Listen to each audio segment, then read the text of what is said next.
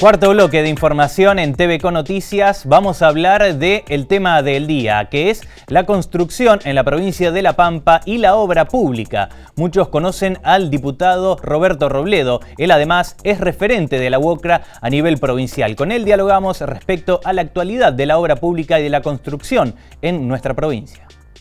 Nosotros estamos atados al devenir de un gobierno nacional que tiene que mandar los flujos de dinero correspondientes y que adeuda con la provincia de La Pampa.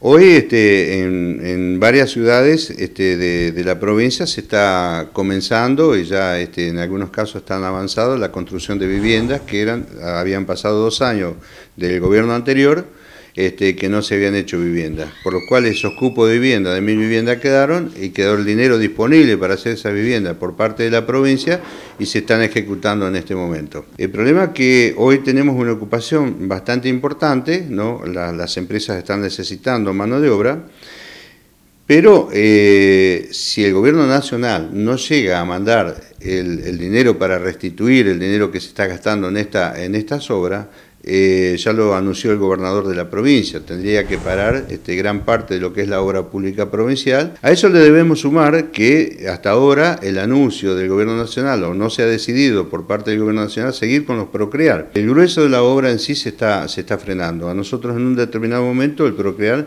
nos salvó realmente de tener una desocupación mucho más profunda. Esperemos que también en eso se resuelva para que, con, ya sea con dinero del banco hipotecario o de, o de fondos privados, que es lo que está hablando el Gobierno Nacional, o a través del dinero que tiene la ANSES, se siga haciendo viviendas para un sector que tiene la posibilidad económica, diríamos, de, poder pagar una cuota mucho más elevada, pero al mismo tiempo la imposibilidad de bancarizarse debido a que los créditos hoy hipotecarios están en un 38-40% de interés. En el sector de la UOCRA a nivel país llevamos eh, ya, nosotros decimos 50.000, pero ya se llevan mucho más de 50.000 personas, no sé que se quedaron sin trabajo. Si este gobierno no ejecuta algún tipo de plan para, seguir, eh, inclusive con, grandes obras ¿no? que hoy están este, tan frenadas. Indudablemente entraremos nuevamente eh, eh, en, la etapa de las viejas épocas que ya creíamos olvidadas, que era la época del trueque, la época, diríamos, de, de la subsistencia de parte de los trabajadores, inclusive de las propias empresas.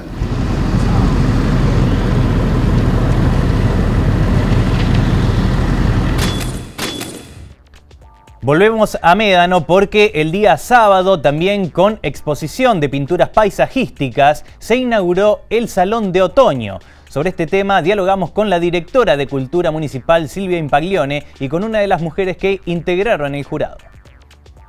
Esto no es normal, no es, no, es algo que haya pasado en el Médano nunca, un salón eh, este, paisajístico, así que bueno, tuvimos muchos miedos, pero por suerte la gente, no solamente la gente nos colaboró, nos apoyó, nos felicitó, eh, se, prendió el jurado, un jurado espectacular que decidió, eh, así que mm, la verdad que la colaboración de todo el mundo este, cabe destacarla porque ha sido realmente increíble. Fue un esfuerzo elegir eh, los ganadores, tanto es así que creamos dos premios más especiales, tres menciones, siempre normalmente se hace una, en este caso tuvimos que hacer tres, porque había, la verdad que había dos cuadros más que se merecían reconocimiento y todos los que están en el salón, la verdad que todos se merecen este, se merecen el reconocimiento porque están maravillosos. Eh, había ciertos requisitos, había ciertos requisitos en la medida, este, bueno, en la temática debían ser paisajes, no importaban de dónde, ni cómo, ni,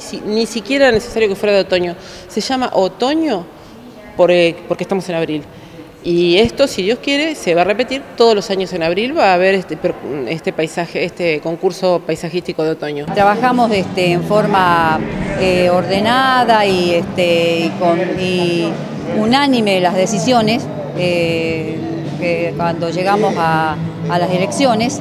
Eh, recepcionamos 40 obras aproximadamente. primer premio, bueno, las tres este, nos gustó muchísimo, encontramos un gran trabajo. Encontramos que tenía tanto una armonía, eh, un trabajo desarrollado, armonía de color, profundidad, que bueno, hacia lo figurativo. El segundo premio también es un paisaje muy elaborado, este, de un paisaje real. Podríamos dar hasta tres menciones, nos parecieron que los tres estaban en condiciones, tienen un trabajo, si ustedes lo pueden apreciar, tienen un trabajo bastante este, desarrollado, están muy buenos y bueno, estaban dentro de lo que nosotros este, considerábamos que podían este, participar en los primeros premios y bueno, la decisión es difícil.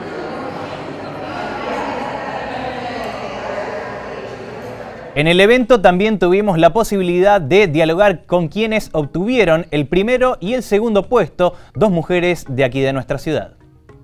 Mi trabajo fue realizado eh, casi, digo, en el lugar, porque bueno, eh, no, pude instalarme con el atril, ya que hay monte cerrado, porque esto es en la zona del Valle de Quehue, entre Quehue y General Hacha, donde se dan estos lugares de, eh, de salitrales y médanos. Y bueno, en ese momento tomé un boceto a lápiz y después me lo traje a casa. Y bueno, salió esto. Yo lo que veía era un salitral y a lo lejos una arboleda que casi imperceptible se, se, veía la casa, vamos a decir. Yo soy autodidacta, no tengo una carrera académica, pero sí la he alimentado a través de distintos cursos y, certámenes. Me defino como paisajista. Tengo una parte abstracta este, pero bueno, el paisaje, porque yo convivo, como te decía, eh, vivo en zona rural, entonces convivo con el paisaje y es parte de mí. Uno siempre espera un premio, pero fue como muy de sorpresa porque tengo otros trabajos que han entrado en los salones eh, de paisaje o de artes visuales de Santa Rosa pero bueno, este premio es como un, incentivo a seguir trabajando para futuros proyectos. Esta pintura para mí tiene un significado muy especial. Primero, que es el lugar, es un camino viejo a Conelo. Yo nací en Conelo, es decir, en una casa que está frente a la estación.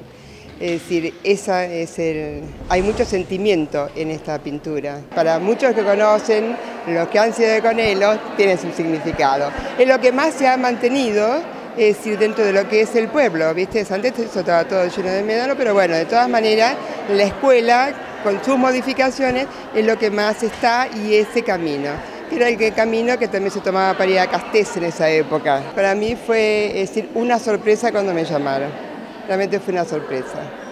Una alegría porque bueno, hay una transmisión acá, ¿viste? O sea que el jurado no debe haber sido fácil, porque vos ahí es decir, cuando vas mirando un cuadro, es decir, analizas la técnica, todo, y la captación de lo que realmente el que pinta está transmitiendo, ¿viste? Que es lo intangible.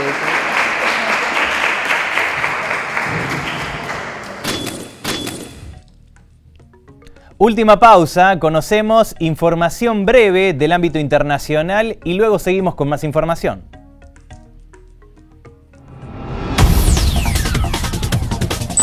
Dilma cerca de irse. La Cámara de Diputados brasileña aprobó la apertura de un juicio político contra la presidenta Dilma Rousseff por 367 votos contra 137 del oficialismo, lo cual abre paso a una salida anticipada del poder. El destino me reservó este grito de esperanza, señoras y señores, de decir sí por el futuro, expresó el diputado Bruno Araujo al emitir su voto 342, con lo cual la oposición alcanzó así los dos tercios y garantizó así la apertura del proceso. Explota autobús en Jerusalén. Una bomba explotó dentro de un colectivo de línea en la parte palestina de Jerusalén. El hecho provocó el incendio del vehículo e hirió a 21 personas. El artefacto estaba colocado en la parte posterior del ómnibus, informó la policía tras la investigación preliminar, confirmando de esta forma que se trató de un atentado y no de un fallo técnico del vehículo. Se hundió otro barco con inmigrantes. El ministro de Relaciones Exteriores de Italia, Paolo Gentiloni, informó hoy que se ha producido un nuevo drama de refugiados en el Mediterráneo. Se habla de centenares de víctimas, pero no hay cifras confirmadas. El barco con refugiados había partido de Egipto. Intentaban cruzar el Mediterráneo para llegar a Europa.